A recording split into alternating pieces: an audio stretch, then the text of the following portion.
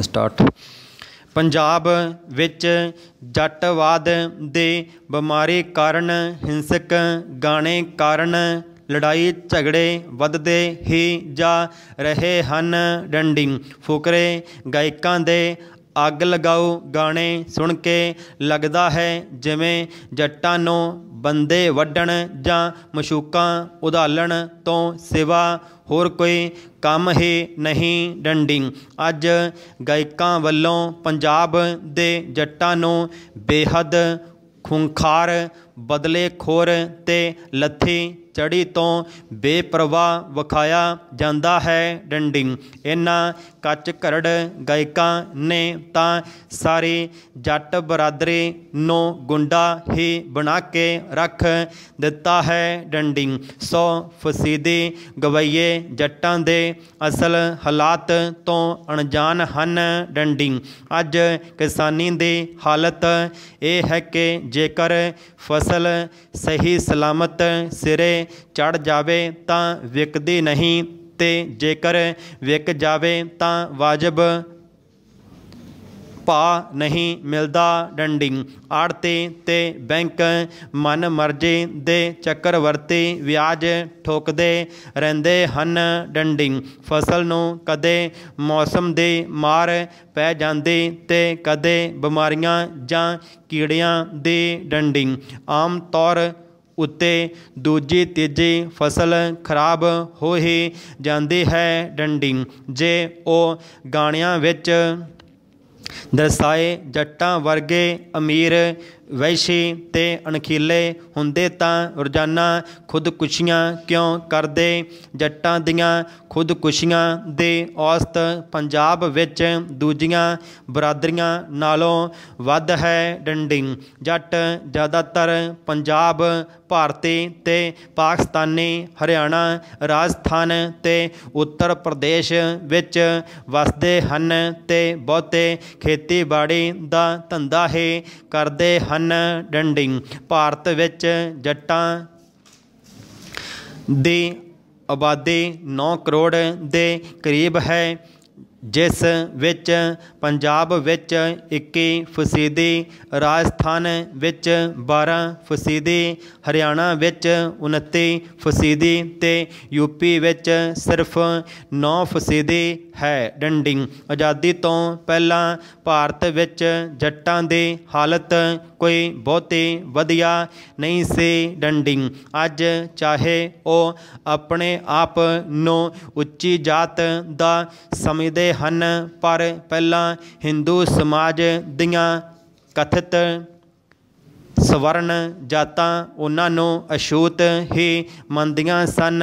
ਡੰਡੀ ਰਾਜਸਥਾਨ ਵਿੱਚ ਤਾਂ 40 50 ਸਾਲ ਪਹਿਲਾਂ ਤੱਕ ਵੀ ਕੋਈ ਜਾਟ ਆਪਣੇ ਨਾਮ ਨਾਲ ਸਿੰਘ ਨਹੀਂ ਸੀ ਲਿਖਾ ਸਕਦੇ ਡੰਡੀ ਇਹ ਸ਼ਬਦ ਸਿਰਫ ਰਾਜਪੂਤਾਂ ਵਾਸਤੇ ਰਿਜ਼ਰਵ ਸੀ ਡੰਡੀ ਜਾਟ ਘੋੜੇ ਉੱਤੇ ਨਹੀਂ ਸੀ ਚੜ ਸਕਦੇ ਤੇ ਚੰਗਾ ਊਠ ਨਹੀਂ ਸੀ ਰੱਖ ਸਕਦੇ ਡੰਡੀ ਅੱਜ ਵੀ ਰਾਜਸਥਾਨ ਵਿੱਚ ਜਾਟਾਂ ਦੇ ਬਹੁਤੇ ਨਾਮ ਸ਼ਾਮ ਲਾਲ ਨੌਲਾ ਰਾਮ, ਗੂੜੇ ਰਾਮ, ਰਤਨ ਲਾਲ ਜਾਂ ਗੌਂਦਾ ਰਾਮ ਆਦ ਹਨ ਡੰਡਿੰਗ। ਧਰਮਿੰਦਰ ਦੀ ਫਿਲਮ ਗੁਲਾਮੀ 1985 ਵਿੱਚ ਇਹ ਭੇਦਭਾਵ ਬਹੁਤ ਬਰੀਕੀ ਨਾਲ ਵਿਖਾਇਆ ਗਿਆ ਹੈ ਡੰਡਿੰਗ। ਪੰਜਾਬ ਵਿੱਚ ਖਾਲਸੇ ਦੀ ਸਿਰਜਣਾ ਤੋਂ ਪਹਿਲਾਂ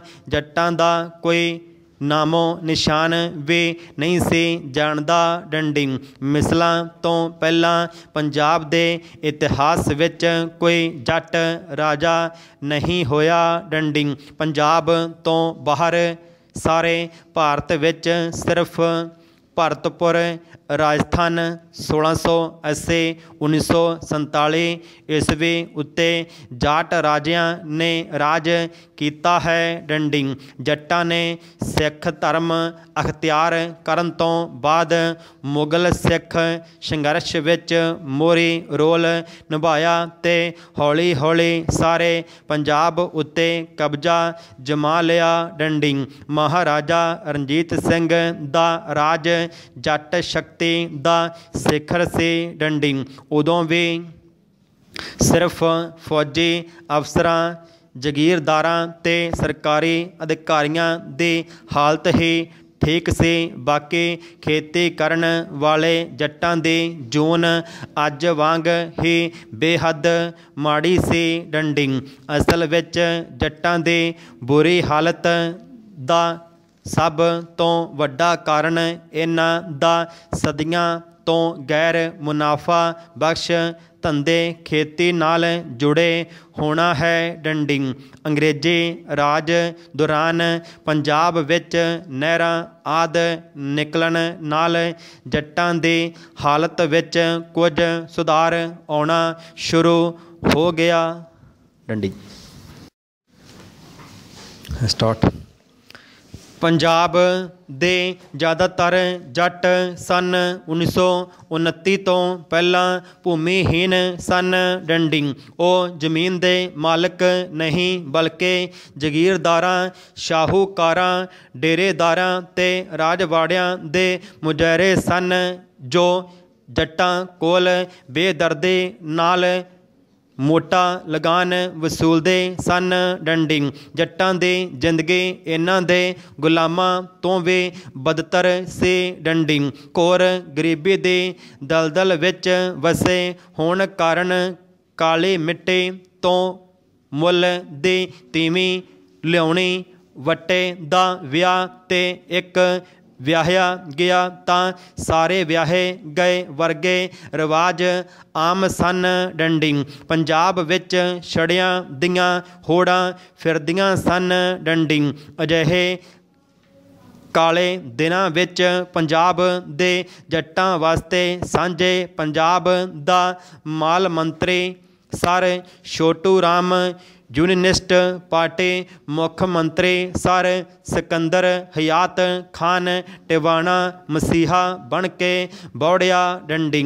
ਉਸਨੇ 1929 ਵਿੱਚ ਪੰਜਾਬ ਲੈਂਡ ਰੈਵਨਿਊ ਐਕਟ ਰਾਹੀਂ ਜਾਗੀਰਦਾਰਾਂ ਦੇ ਅਧਿਕਾਰ ਸੀਮਤ ਕਰਕੇ ਮੁਜਾਰਿਆਂ ਨੂੰ ਜ਼ਮੀਨਾਂ ਦਾ ਹੱਕ ਦਿਵਾਇਆ ਤੇ 1930 ਵਿੱਚ Punjab regulation of accounts act pass ਕਰਕੇ ਜਨਤਾ ਨੂੰ ਸੂਦਖੋਰ ਸ਼ਾਹੂਕਾਰਾਂ ਦੇ ਖੂਨੀ ਪੰਜੇ ਤੋਂ ਮੁਕਤ ਕਰਵਾਇਆ ਡੰਡੀ 1955 56 ਵਿੱਚ ਚੱਲੇ ਮੁਜਾਰਾ ਲਹਿਰ ਨੇ ਪੰਜਾਬ ਵਿੱਚੋਂ ਜਗੀਰਦਾਰੀ ਸਿਸਟਮ ਬਿਲਕੁਲ ਹੀ ਖਤਮ ਕਰ ਦਿੱਤਾ ਡੰਡਿੰਗ।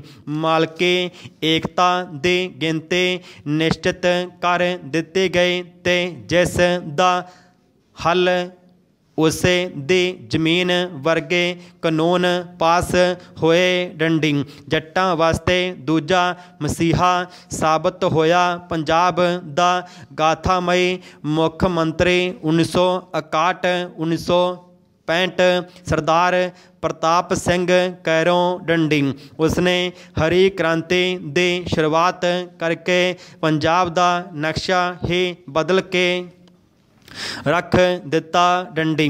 ਪਹਿਲਾਂ ਪੰਜਾਬ ਵਿੱਚ ਕਣਕ ਦੀ ਸਿਰਫ ਇੱਕ ਹੀ ਫਸਲ ਹੁੰਦੀ ਸੀ ਡੰਡੀ। ਜੱਟ ਖੇਤਾਂ ਵਿੱਚੋਂ ਘਾਹ, ਪੋਲੇ, ਈਸਟ, ਅੱਕ, ਢੱਕ, ਬਾਥੋ, ਲੇਹਾ ਪਖੜਾ ਪਾਪੜ ਤੇ ਮੈਣਾ ਆਦ ਗੁੰਦਦੇ ਹੀ ਪ੍ਰਲੋਕ ਸੁਧਾਰ, ਜਾਂਦੇ ਸਨ ਡੰਡੀ ਪਿੰਡੂ ਸਕੂਲ, ਨਹਿਰਾਂ ਸੇਮ ਨਾਲੇ ਪਿੰਡ ਪਿੰਡ ਬਿਜਲੀ ਸੜਕਾਂ ਟਿਊਬਵੈੱਲ ਟਰੈਕਟਰ, ਮੁਰੱਬੇ ਬੰਦੀ, ਭਾਖੜਾ ਡੈਮ, ਚੰਡੀਗੜ੍ਹ ਤੇ ਖੇਤੀਬਾੜੀ, ਯੂਨੀਵਰਸਿਟੀ ਲੁਧਿਆਣਾ, ਕੈਰੋਂ ਦੇ ਹੀ ਦੇਣ ਹੈ ਡੰਡਿੰਗ ਝੋਨੇ ਤੇ ਨਰਮੇ ਦੀ ਕਮਾਈ ਨੂੰ ਲਹਿਰਾ ਬਹਿਰਾ ਕਰ ਦਿੱਤੀਆਂ ਡੰਡਿੰਗ ਵਿੱਦਿਆ ਨੇ ਜੱਟਾਂ ਦਾ ਤੀਜਾ ਨੰਬਰ ਖੋਲ ਦਿੱਤਾ। ਪੇਂਡੂ ਸੜਕਾਂ ਸਕੂਲਾਂ ਦੇ ਪੜ੍ਹੇ ਬੱਚੇ ਸਰਕਾਰੀ ਨੌਕਰੀਆਂ ਵਿੱਚ ਭਰਤੀ ਹੋਣ ਲੱਗ ਪਏ ਡੰਡੀ। ਜੇ ਕਿਤੇ ਉਸ ਦੀ ਬੇਵਕਤੀ ਮੌਤ ਨਾ ਹੋਈ ਹੁੰਦੀ ਤਾਂ ਪਤਾ ਨਹੀਂ ਉਹ ਪੰਜਾਬ ਨੂੰ ਕਿੱਥੇ ਦਾ ਕਿੱਥੇ ਲੈ ਜਾਂਦਾ ਡੰਡੀ। ਉਸ ਤੋਂ ਬਾਅਦ ਦੀਆਂ ਸਰਕਾਰਾਂ ਨੇ ਵੀ ਜੱਟਾਂ ਦੇ ਭਲਾਈ ਵਾਸਤੇ ਕਈ ਸਕੀਮਾਂ ਚਲਾਈਆਂ ਡੰਡੀ। ਪਰ ਇੰਨਾ ਕੁਝ ਹੋਣ ਦੇ ਬਾਵਜੂਦ ਵੀ ਜੱਟਾਂ ਨੇ ਆਪਣੀਆਂ ਪੁਰਾਣੀਆਂ ਆਦਤਾਂ ਨਾ ਛੱਡੀਆਂ ਡੰਡੀ ਇਹ ਯਹੂਦੀਆਂ ਵਾਂਗ ਸੰਸਾਰ ਦੇ ਨੰਬਰ 1 ਕੌਮ ਬਣ ਸਕਦੇ ਸਨ ਡੰਡੀ ਪਰ ਸ਼ੋਸ਼ੇਬਾਜ਼ੀ, ਸੌਂਕਣ ਸਾੜਾ ਸਿਆਸੀ ਖਿੱਚ ਤੋਂ ਲੜਾਈ ਝਗੜੇ ਕਤਲਾਂ, ਨਸ਼ਿਆਂ ਤੇ ਸ਼ਰਾਬ ਨੇ ਇਹਨਾਂ ਨੂੰ ਗੁਰਬਤ ਵਿੱਚੋਂ ਨਿਕਲਣ ਹੀ ਨਹੀਂ ਦਿੱਤਾ ਡੰਡੀ। ਖੂਹ ਦੀ ਮਿੱਟੀ ਖੂਹ ਵਿੱਚ ਹੀ ਲੱਗ ਜਾਂਦੀ ਹੈ ਡੰਡਿੰਗ। ਅੱਜ ਪੰਜਾਬ ਦੀਆਂ ਅਦਾਲਤਾਂ ਵਿੱਚ 80 85 ਫਸੀਦੀ ਫੌਜੀਦਾਰੀ ਮੁਕੱਦਮੇ ਇਕੱਲੇ ਜੱਟਾਂ ਦੇ ਹੀ ਚੱਲ ਰਹੇ ਹਨ ਡੰਡਿੰਗ। ਕਚਹਿਰੀ ਵਿੱਚ ਨਿਗਾਹ ਮਾਰ ਲਓ, ਹਰ ਪਾਸੇ ਚਿੱਟੇ ਕੱਪੜੇ ਪਾਈ ਜੱਟ ਐਵੇਂ ਟਹਿਲਦੇ, ਵਿਖਾਈ ਦੇਣਗੇ, ਜਿਵੇਂ ਬਹੁਤ ਵੱਡਾ ਮਾਰਕਾ ਮਾਰਿਆ ਹੋਵੇ ਡੰਡੀ ਹੁਣ ਤਾਂ ਕੈਨੇਡਾ ਵਿੱਚ ਵੀ ਪੰਜਾਬੀ ਵਿਦਿਆਰਥੀਆਂ ਦੀਆਂ ਛਿੱਤਰੋ ਛਿੱਤਰੀ ਹੋਣ ਦੀਆਂ ਵੀਡੀਓ ਵਾਇਰਲ ਹੋ ਰਹੀਆਂ ਹਨ। ਡੰਡਿੰਗ। ਰਹੀ ਸਹੀ ਕਸਰ ਹੁਣ ਜੱਟਾਂ ਦੇ ਨਵੀਂ ਪੀੜ੍ਹੀ ਨੇ ਕੱਢ ਦਿੱਤੀ ਹੈ ਡੰਡੀ। ਲੱਗਦਾ ਹੈ ਅਗਲੇ 50 ਸਾਲਾਂ ਤੱਕ ਪੰਜਾਬ ਵਿੱਚ ਕੋਈ ਜੱਟ ਰਹਿਣਾ ਹੀ ਨਹੀਂ ਡੰਡੀ। ਲੋਕ ਧੜਾ ਧੜ ਜ਼ਮੀਨਾਂ ਵੇਚ ਕੇ ਬੱਚੇ ਬਾਹਰ ਭੇਜ ਰਹੇ ਹਨ ਡੰਡੀ। ਜੱਟਾਂ ਵਿੱਚ ਇੱਕ ਹੋਰ ਮਾੜੀ ਆਦਤ ਭੂਤ ਕਾਲ ਵਿੱਚ ਜਿਉਣ ਦੀ ਹੈ ਡੰਡੀ। ਜੋ ਕੁਝ ਕੋਲ ਹੈ ਉਸ ਨੂੰ ਭੁੱਲ ਕੇ ਪਿੱਛੇ ਪਾਕਿਸਤਾਨ ਦੀਆਂ